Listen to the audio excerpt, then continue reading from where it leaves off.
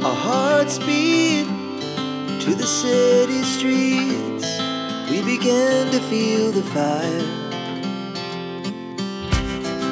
We rise like tall buildings as the chemicals they take us higher.